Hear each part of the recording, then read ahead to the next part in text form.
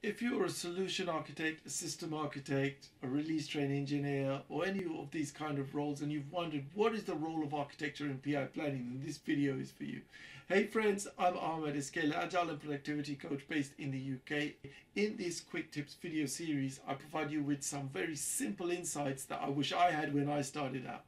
So let's have a look at the role of architecture in PI planning. Firstly, one of the first things that I would say is, is that making sure our PI planning event is that event that actually aligns all of the different teams together. It brings that alignment and coordination so that we can actually achieve a single outcome.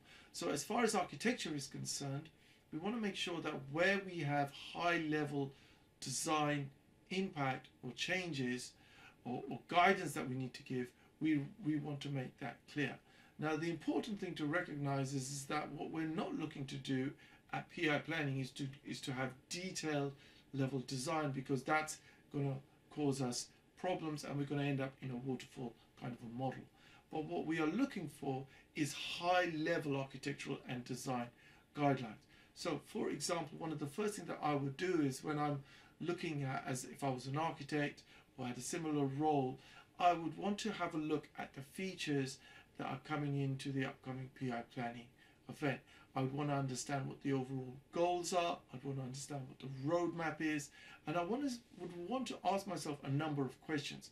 So one of the questions would be: is given these goals that we actually have, are any of these likely to impact the overall high-level build, high big building blocks for this system in a meaningful way? And is there any guidance that I wish to give around that. It could be we're shifting from synchronous to asynchronous. It could be we're moving to from on-premise to cloud. It could be we're adding in new APIs, new ways in which we uh, interact or connect the different systems together, or it could be a completely new technology that we're using. Regardless of what it is, we want to make sure that if there's anything that's happening at a macro level that's going to impact a number of different teams, we are clear on what that is. And we put together a simple slide that actually shows and outlines what that actually is.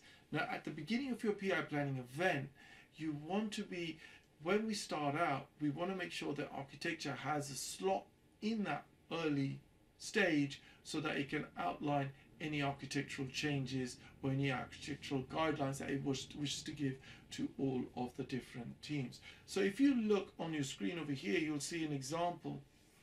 This is an example that I've taken from uh, basically New York University, an example that they gave on high level analysis and design. And this is the kind of level that we wish to actually be providing to our teams. We want to so big, big blocks, big boxes, um, high level design and we're not going into too much detail but we're showing how all of the nuts and bolts at the high level and macro level how all of the things actually fit together.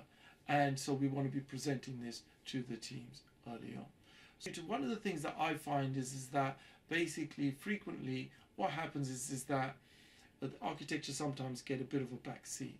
And I think that especially where you've got a an organization or you've got a project that actually has a complex architecture that's changing or that needs to be thinking about the future, the architectural runway, it's really important that you spend the time and it's given the emphasis that it's actually needed for your overall success of your PI and your project. Okay, so I hope you found that tip useful and look forward to seeing you in the next video. And if you want to get some more PI planning tips, then please click the link over here. And if you'd like to get some more information on how to run a PI, your PI planning event, then why not look at my PI Planning for Beginners series by clicking the link over here.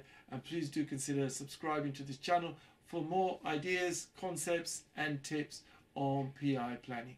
Look forward to seeing you in the next video. Thanks very much. Goodbye.